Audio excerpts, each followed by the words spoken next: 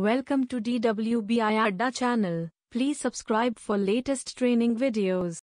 So today we are going to start the second day of class and today we are going to uh, work on the Splunk search language. Suppose if you want to write a search language, the syntax looks like this. Index is equal to web, source type is equal to access star, status is equal to, know, like that if you give, then what and all present, you know, like the first few words we call as this search, you know, we will we are going to search for these terms in the events. After that we will give a pipe symbol.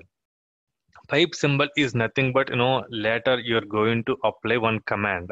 So you know after pipe symbol another search or another uh, function is going to apply. Here stats we have used the one command. After that we have used the function and we using the argument and class and uh, no this is another one. After that again we are giving into the pipe. Again we'll use the command function argument. So this is the normal you know uh, this diagram represents the search like uh, what are all the syntax components are there? And how uh, how can we use this Splunk search language? So these are all these uh, uh, five basic components are there in any of the search. Search terms commands functions arguments and classes. In next few slides or in the demo we'll i'll get, let you know like how we can achieve that. And this is the basic structure. Suppose if you write the no um, the search if you're using the search pipeline from disk using the search you will make your data in a single table format. After that using the command or using the function you will make that table into intermediate results tab after that another tab. Again you make that into intermediate results tab and later applying the final command and we will make the final results table. This is how the splunk know, works uh, from disk to the final results. And uh, yeah. So the next one is the how you can do the you know, how can you make the preferences so now I am going to tell you the how to make your SPL editor as know, uh, as per our use. So I'm going back to my Splunk. This is my local instance. You can find it out like local host 8000. You can see here. I am going into my Splunk search. So wherever I am now, wherever I have stopped the work, but I want to go to my home page, I have to click on this no the Splunk logo. By clicking on that logo, I'll be entered into uh, no, the home page. After that, I have one app over here. The app name is Search and Reporting.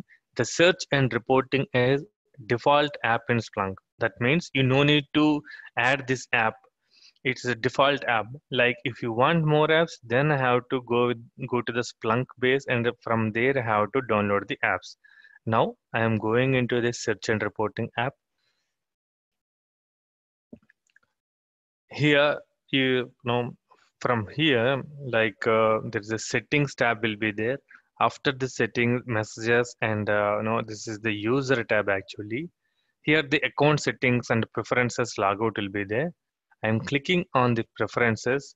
So here we have to, like before we search anything, we have to uh, keep uh, whatever, wherever we are in time zone, we have to keep that time zone over here. Why we have to keep the time zone is, suppose your client, no, for example, my client in America and our NTP server, like uh, network time protocol, that server is at America time zone, then I have to change my Splunk time zone to uh, know that mm, whatever Texas or wherever it is, I have to change it to that time zone. Why? Because the Splunk uh, works on the timestamp. You know, all logs, whatever the time come, the timestamp will be applied.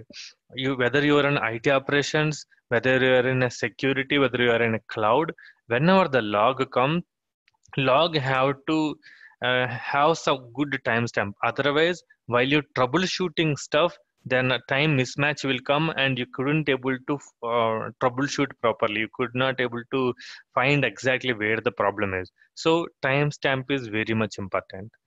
So that is you will put the timestamp and you can keep the restart the background jobs. So by clicking this splunk most of the jobs automatically will restart your data never be lost but uh, splunk will be more efficient and there is uh, Splunk editor will be there.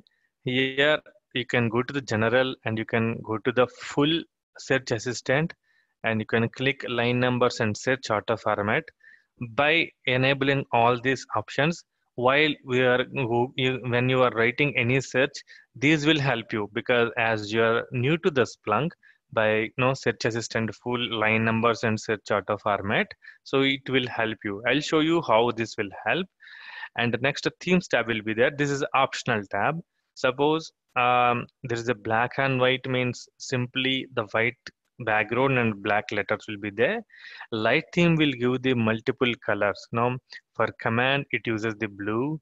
For uh, function it will use the pink for class it uses the orange. So it will easy to understand whether our whatever i'm writing is correct or not it will be writing. And next there will be a dark theme like if you are like on the black black background and the white letter you can do that. Now i click on the light theme and i'm applying it. Okay. So how this search assistant work i'll show you now. Suppose index is equal to if i write like that even same like a google like by writing the few letters it will give you know uh, it already know what i have searched.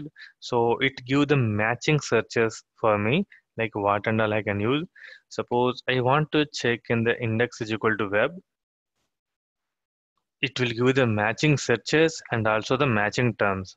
I can by clicking on it it will add over here and i'm just searching for all time data okay so while I'm uh, searching the data, here I can see the multiple fields are there. The fields here, nothing but the, you know, once the data is coming into the Splunk, Splunk will find out like uh, what uh, it will extract, no, it will cut, it will make the chunks of the data and it will identify what is the uh, 1665 means these are the bytes so it know this data by this source type, like access combined web cookies. This is the data, whatever we have ingested here.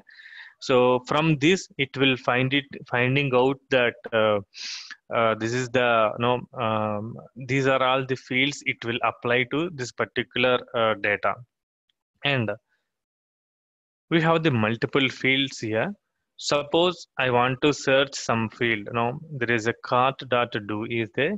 The file is there. So the file, why it is a cart.do is it's a simple is example data. Like suppose it's a kind of Amazon, Flipkart kind of thing, like where we cart the items rows. So this is the cart.do and the multiple options we have got over here. And suppose instead of small a, if I give a capital A, whether it search or not, it searches. And instead of I, I will make capital I, whether it will search or not. It won't search. So what I wanna tell you, um, know, by know, doing this is field name, whatever the field name is case sensitive but field value is case insensitive. So just wanna tell this difference. So that's why i have took this uh, thing. So now we will search. You can also start searching with me. You can find the uh, no, uh, you, in your splunk cloud if you want to find in which index your data is present you can go with the index is equal to star. And uh, you can search the no the data. You can search the data for the all time or uh, last seven days you can search. And once the data comes you can stop the search query. If you go below there is an index term will be there.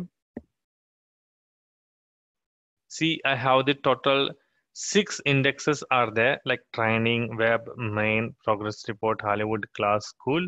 So any of the index you can search else there will be one more index will be there which is a main index which is a default index. You can note it down the name like index is equal to main.